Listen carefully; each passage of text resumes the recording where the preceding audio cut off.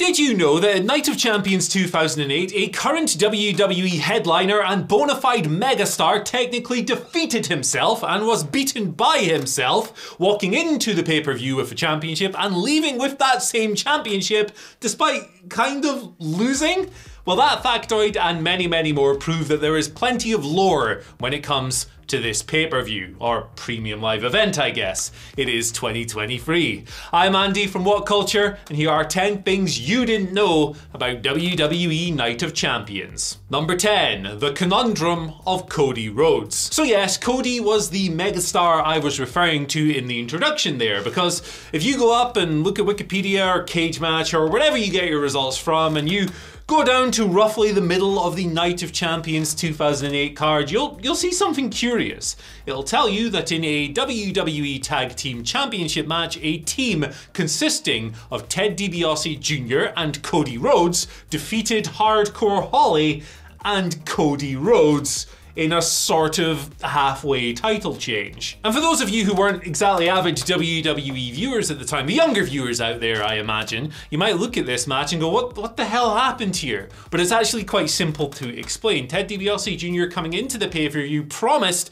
a mystery partner alongside whom he would go after Hardcore Holly and Cody Rhodes who were the tag team champions at the time. That mystery partner turned out to be Cody. So even though it technically happened within the confines of the same match, with Cody jumping from one team to another, he technically ended his own reign to start a brand new reign, with Ted turning on his devious mentor Bob Holly, who was a bit of a prick to him throughout their run. It also kind of sowed the seeds for legacy later down the line as well, making this quite the conundrum indeed. Number 9. Double Duty Duo. Not counting Cody Rhodes in this one because the whole kerfuffle I've just described technically happened in one match, but there have actually only been two wrestlers in WWE history who have ever pulled double duty wrestling twice on the same night at Night of Champions. One of them is Seth Rollins, and one of them is Curtis Axel. Axel had what was probably the best night of his main roster run in 2013. First of all, he defended his Intercontinental Championship against Kofi Kingston, and then later on,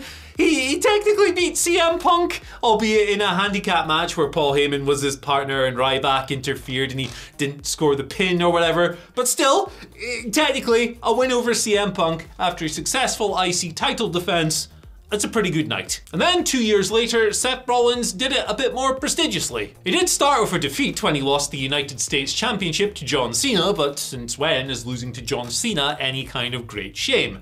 Then later on, in the main event of the evening, he faced Sting in what would be Sting's final WWE match ever, which wasn't exactly any kind of in-ring classic, but still, it's a nice little thing to have on your resume. Retired Sting until he showed back up in AEW a few years later later. Obviously, that's the in-character side of it. I got this scalp, blah blah blah, I beat Sting. Sting was very seriously injured in this match to the extent that he never, well, we thought he was never going to work again. That meant when he did show up all those years later at Winter is Coming, it was pretty damn mind-blowing. But still, Seth got the better of him at Night of Champions 2015. Number 8. Secondary Title Supremacy. WWE haven't always given their secondary championships the most importance over the past couple of decades, but interestingly, they kind of have at Night of Champions because during the pay-per-view's initial run from 2008 to 2015, you knew every single year you were getting an Intercontinental title match, a US title match, and a tag team title match. And yes, this is is technically part of the Night of Champions gimmicks, the whole every belt must be defended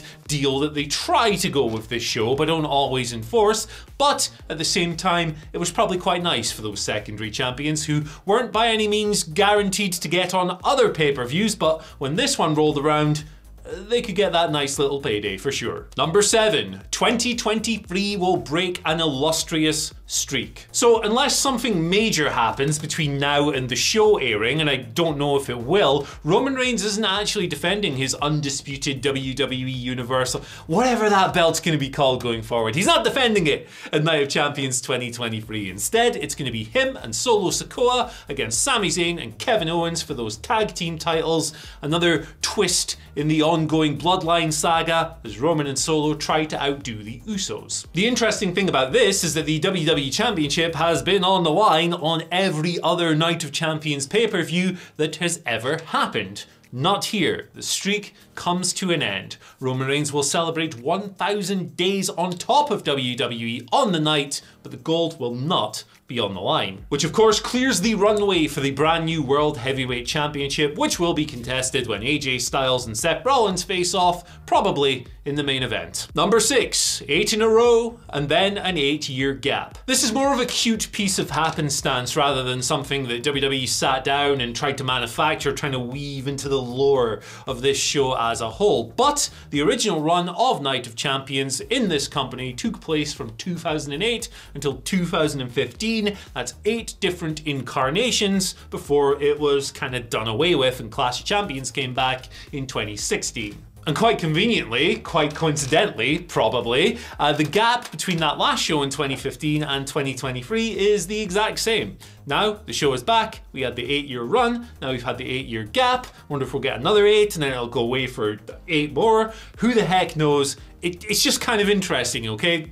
Leave me alone. Number five, the only non-WWE title to ever be defended is the ECW World Championship. Now, of course, this was technically under WWE's umbrella. It was WWECW, as it was derivatively called back in the day. But that championship doesn't have the WWE prefix. It was a continuation of the old ECW title. So in my warped view, it counts. In 2008, the ECW World title was on the line as Mark Henry won it in a match featuring Kane and The Big Show, which was kind of like a trial run to see how Mark would do as a top world champion in WWE with what was technically the third biggest world title in the company at the time. Then, the following year, it was defended by Christian against an ECW original in Tommy Dreamer, keeping the ECW title's presence alive, and after that, like the brand, it kind of went away. Number four, a perfect 10. Quick costume change for this one, but you don't need to worry about that. Anyway, did you know that up until this year's event, at Night of Champions, a total of 10 different titles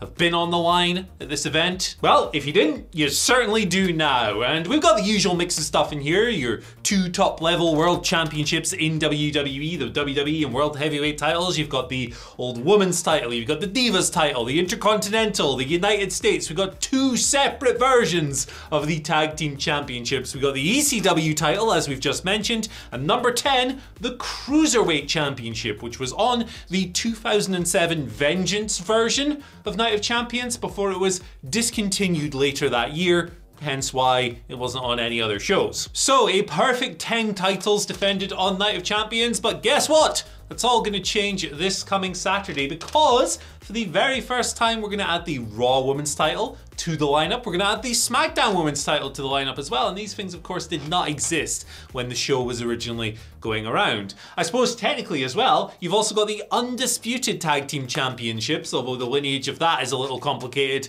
And it's the same for the World Heavyweight title. So I guess it depends how generous you're going to be. If you're feeling super generous coming out of this weekend, 14 different titles defended across the history of this show. If you're feeling a little bit less generous, we're down to 12. Either way, perfect 10, not so perfect anymore, huh?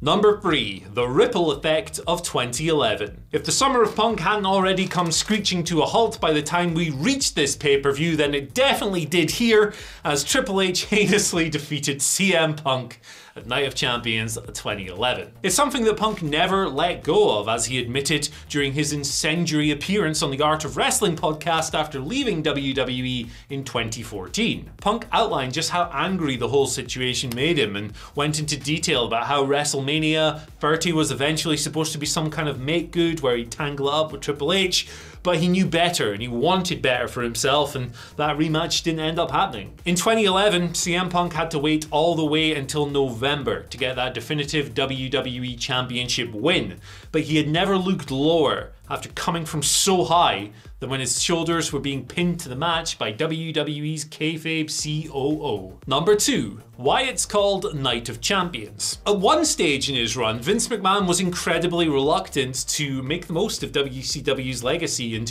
fully utilize properties and pay-per-views and matches and everything else that had been established in Ted Turner's promotion. He was kind of allergic to it, in fact. The most cited example of this would be War Games, which Triple H was already very very keen on bringing on in 2002, but when he presented it to his dopey father in law, the end result was Elimination Chamber, which always felt like something of a compromise. And perhaps this is why WWE felt they could never fully commit to the old TBS staple Clash of the Champions either. They kind of flirted with it with Vengeance 2007, which was subtitled Night of Champions, but instead of going with Clash of the Champions, which would be the closest WCW equivalent, Night of Champions became the pay per view thereafter from 2008 onwards until we got to 2016, when W did kind of go for Clash, but still had to put their little spin on it. Clash of the Champions? No.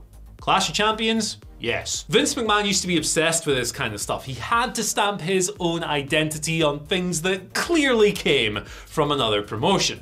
That being said, on the 26th of March 2001, maybe he was a little too preoccupied to focus on these kind of subtleties. And at number one, WCW did it first. Perhaps to avoid confusion with the old Clash of the Champions label, WCW absolutely loaded the final episode ever of Nitro on the 26th of March 2001, subtitling it Night of Champions for a big blockbuster blow off before Vince McMahon eventually swept in and bought the whole damn company in probably the worst day in American wrestling history. Honest. And on this Night of Champions special, every major WCW championship was up for grabs. We got the final Cruiserweight Tag Team Championship match. We got Shane Helms successfully defending his Cruiserweight Championship so that he could carry that into life as a newly minted WWE star. And of course, in the main event, we got Booker T emerging as a unified WCW United States and World Heavyweight Champion, becoming the centerpiece of the eventual invasion. This ultimately wasn't enough to convince USA Network officials that a WCW product would be viable on television after the WWE takeover,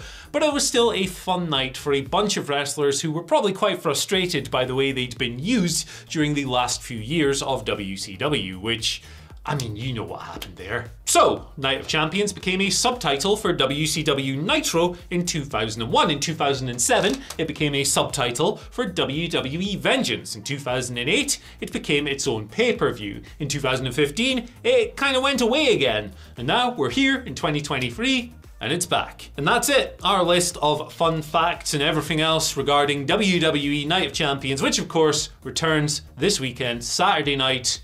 It's going to be a show. That's what I'll say about that one. Uh, thank you for joining. Thank you for watching. Thank you for subscribing and all that good stuff. And if you've got any more interesting bits and bobs that we might have missed, let us know down in the comment section below.